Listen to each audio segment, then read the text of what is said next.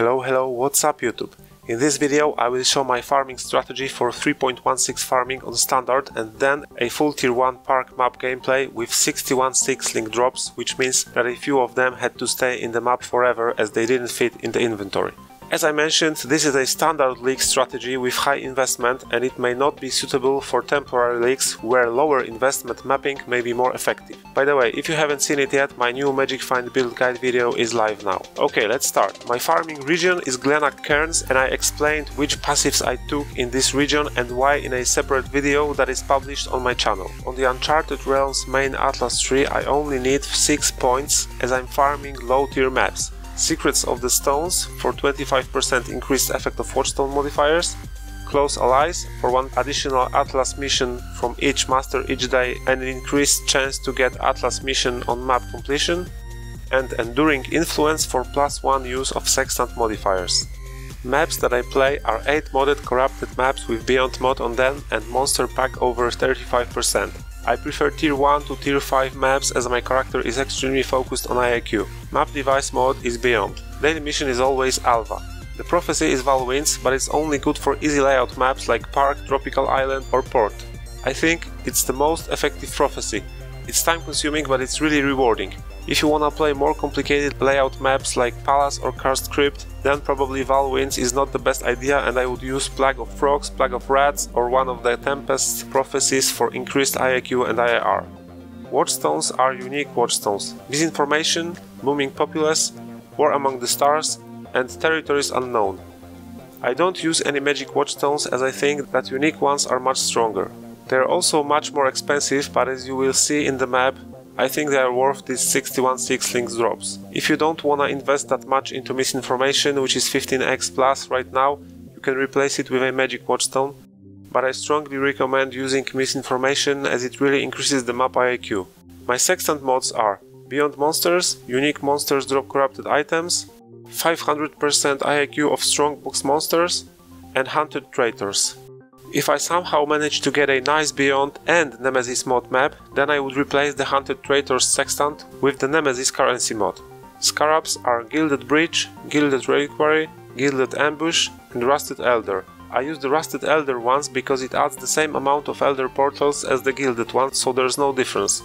If you don't wanna use the Reliquary one for more unique items, then the Gilded Harbinger should be the best choice. The drops were really crazy and much bigger than in 3.15 and actually I realized that I forgot to allocate the Uncharted Realms passives after the patch so I didn't even have Secrets of the Stones for 25% increased Watchstone modifiers and the drops could be even bigger. This is pretty much it. Now I'll show the map gameplay, all of the loot will be shown at the video end. As you will see, at the last portal few of the 6 links had to stay on the map because of no room in the inventory. Thanks for watching, I hope that you will enjoy the rest of the video and please consider subscribing for more. See you!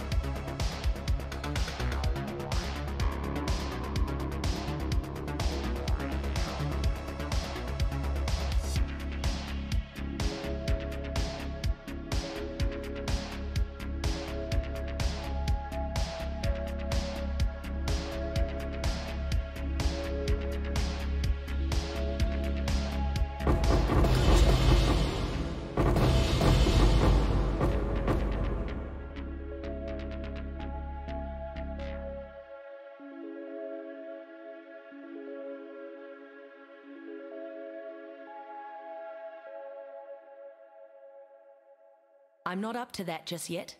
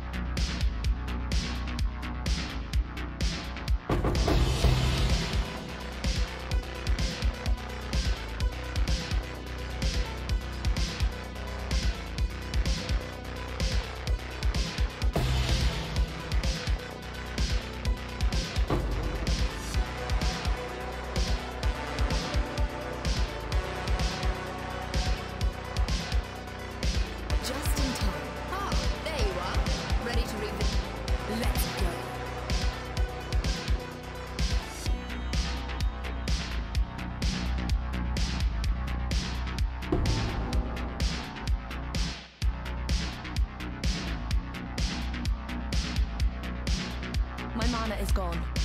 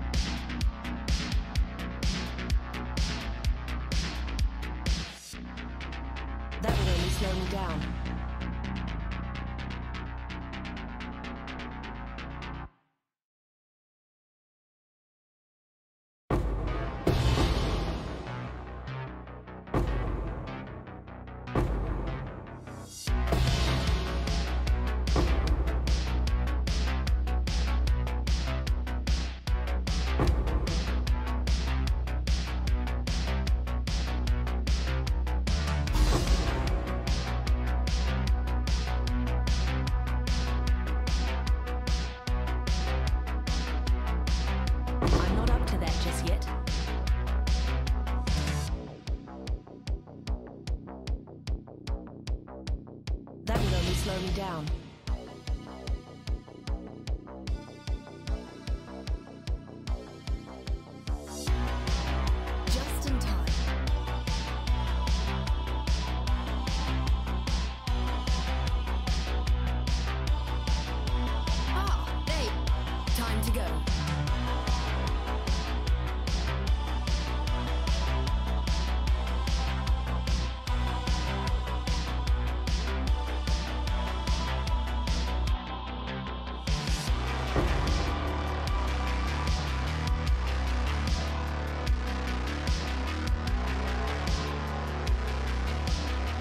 Mana is gone.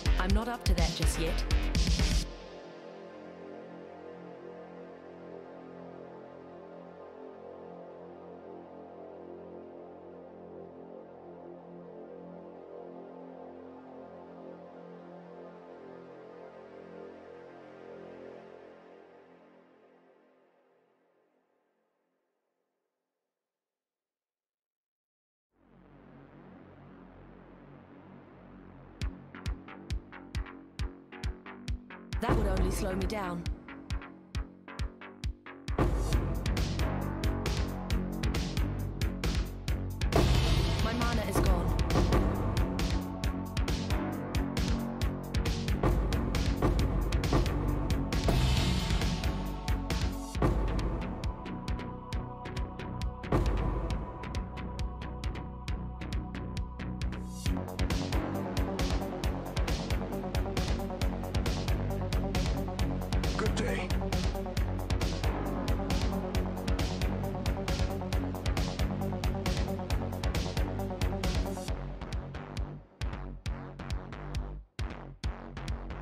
My